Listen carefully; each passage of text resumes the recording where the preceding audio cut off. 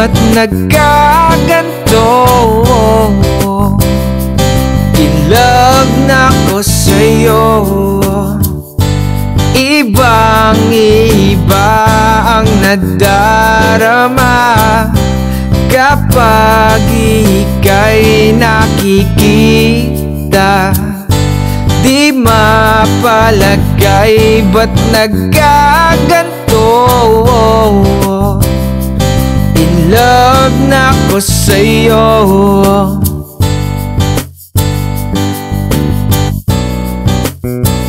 whoa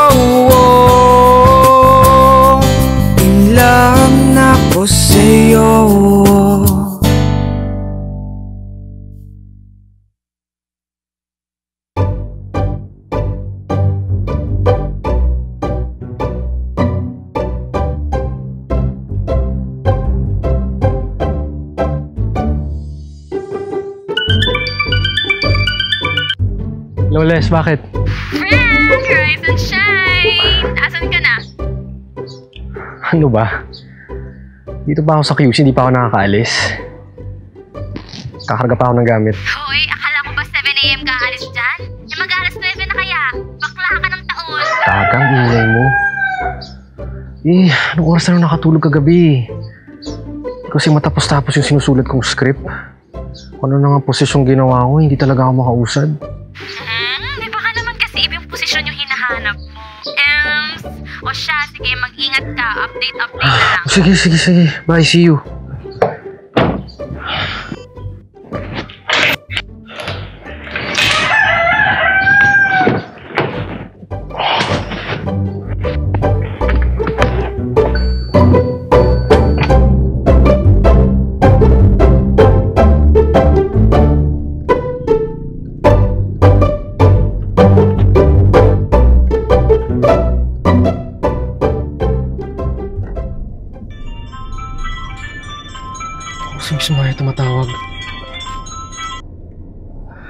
Miss Maya. Hi, Gino. Hope you're doing well. I just want to ask an update regarding your script for our upcoming ad. Ah, yes, Miss Maya. Ah, 60% over 100 na po ako. Oh, that's good to hear. Um, may I know a little gist of your script so I would already have an idea? Shit, just... Uh, yes, yes, Gino. Um, ah, Miss Maya. Ah, medyo... Gino, Hello, Miss Maya. Gino, can you hear me? Ah, medyo mahina Gino? po kasi yung... ah, Gi- Gino, Sorry, Miss Maya. Lalagay muna kita sa Do Not Disturb. Sarili ko nga, hindi ko mabubuo eh. Script pa kaya?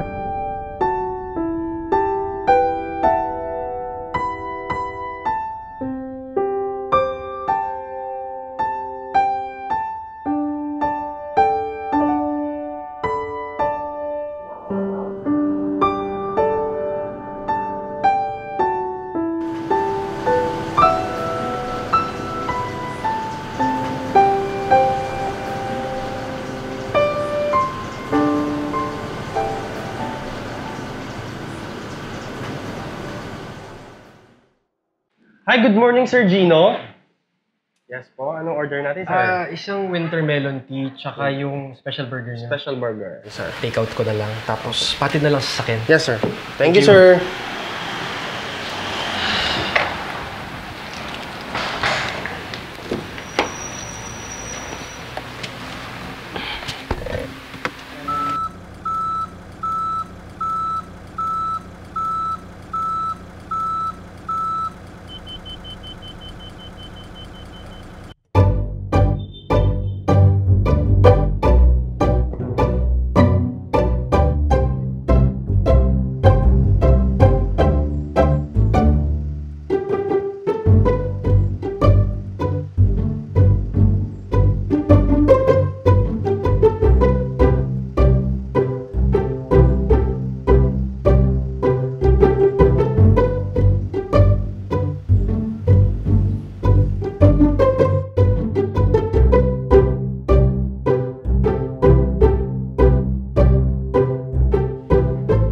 Sir Alex. Hello. Ano order natin? Yung dati pa rin ba, sir?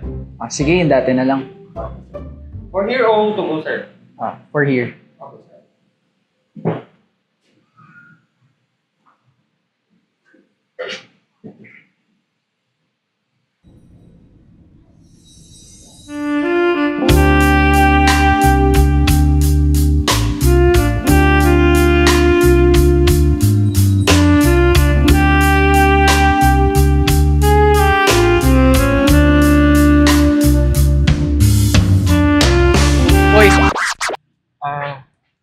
Anong tingin-tingin-tingin mo dyan?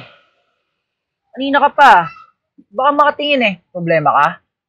Wala. Bakit? Masama ka bang titigan? Di ba pwedeng nagagapuan lang ako sa'yo? High blood naman to. Sir, yung order niyo po, saka yung sakli niyo.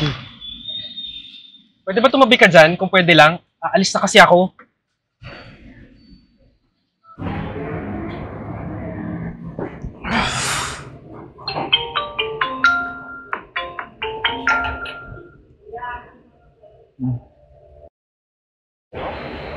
Hi, Jess. Hello, nasan ka? Just tabi-tabi lang. Tabi-tabi. Saan mo balak pumunta? Hindi ko nga alam eh. Bahala na. Ay nako, hindi tama yan Alex ah. Porket mahirap mag-move on, mawawalan ka na ng direksyon. Hindi ko alam kung saan pwede pumunta na tahimik na lugar. Matutulungan ako dito sa problema ko. Ewan ko ba? Alam mo, may alam akong resort away from the city. Isasend ko sa'yo yung link. Doon galing yung friend ko eh, nung ganyan din yung pinagdadaanan niya. Isend ko sa'yo yung link tapos mag-book ka na agad, okay?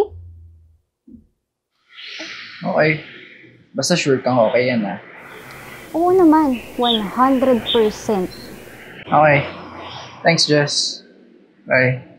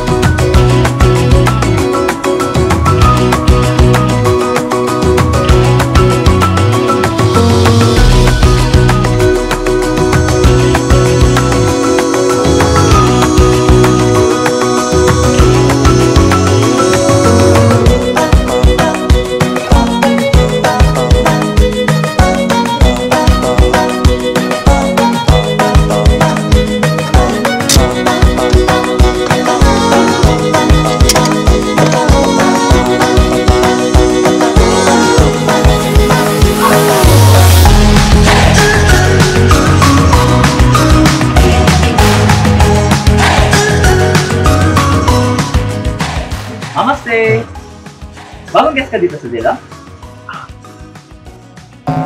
Ah, oo. Kararating ko lang. Hmm, I'm sure you will love this place. May yoga class kami every morning. You can join if you want.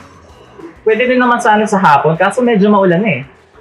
Ah, sure. Kaso, hindi ako flexible na tao eh. Okay lang yun. Yoga will help you relieve stress and tension. Siyempre, tutulungan ka namin. Diba guys? Oo, naman! So, Lalo ata ako masistress dito. Ah, sige. Sign up ako sa session nyo. Yun, Business. Salamat. Okay, okay. See you there. Kita tayo. See you, ah. Kita, ah. One, two, three, and... Give me a T! E!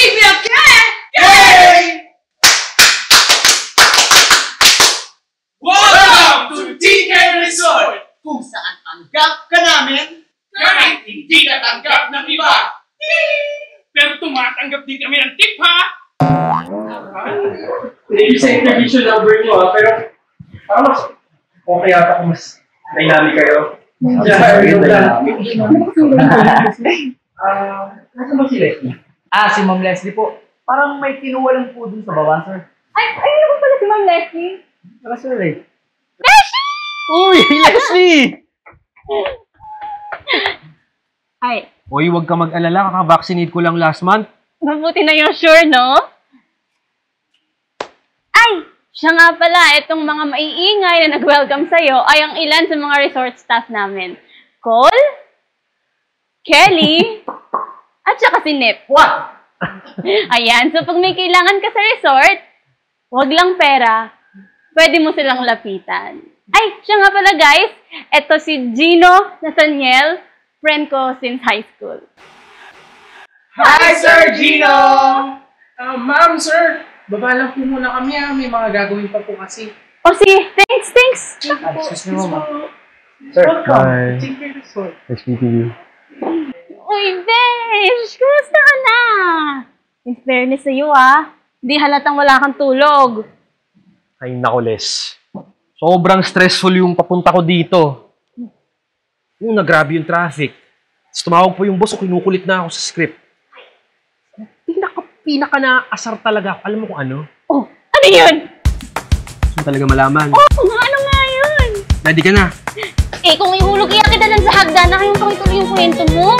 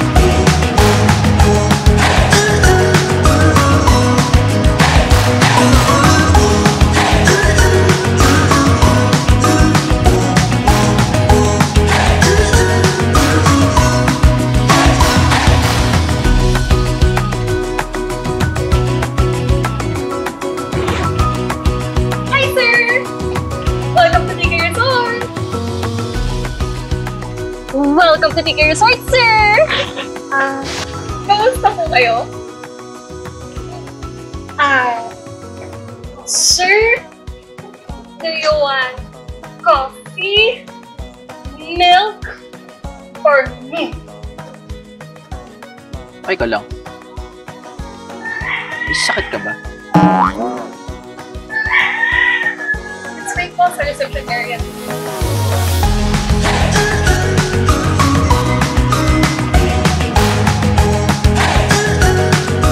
Na nga, di ba? On my way here, dumaan ako sa milk tea shop. Tapos, meron ako nakita doon na moreno, tangos ilong, pangkad, maganda katawan. In short, gwapo. Eh, medyo napatitig ako na malala. Oh, tapos? Aba, pinuntahan ba naman ako sa sakyan ko? OMG, best! Kinikilig ako! Wala pa man din! Next, next. Gaga, ang nakakakilig doon. Pinuntahan ako si aambahan ako. Sabi ba naman sa akin, ano daw problema kung tinititigan ko siya? Eh syempre ako, inunahan ako ng sindak, kinabahan ako. Kasi baka mamaya, kaysa salubungin mo ako dito sa resort mo, may production number ka pa, eh, doon mo ako puntahan sa ospital. Eh, wala si kuya. Eh, ano sinabi mo? Sinabi ko yung totoo, na nagagwapuan ako sa kanya. Wala namang masama doon, di ba?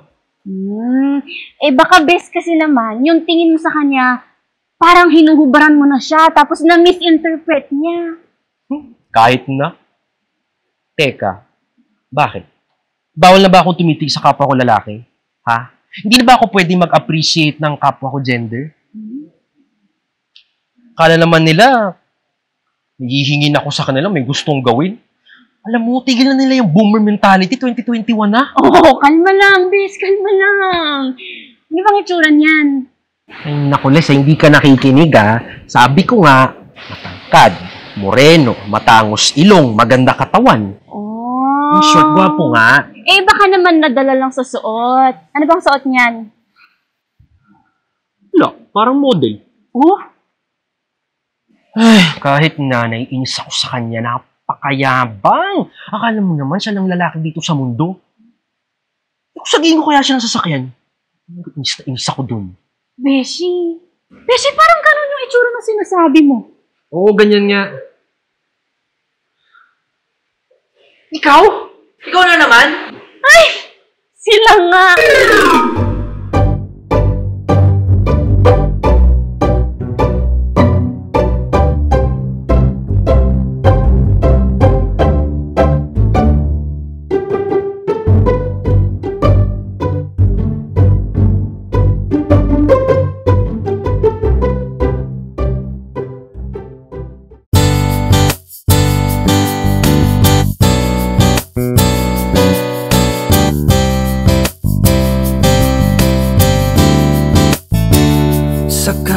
Kakasilip Ika'y palaging nasa isip ko. Ikaw ang nais. Makasama hanggang dulo. Sa bawat road trip Gusto ikapiling ka.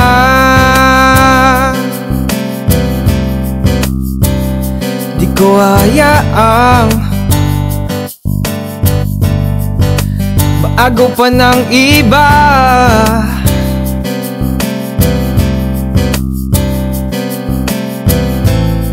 Kung bibigyan ng pagkakataon Na magbago para sa'yo.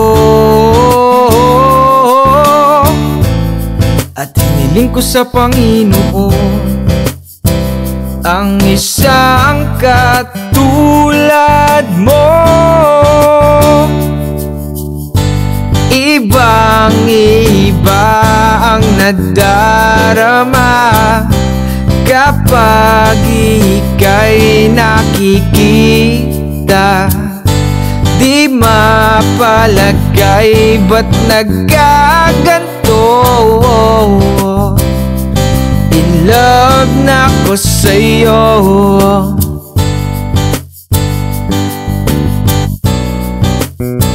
Whoa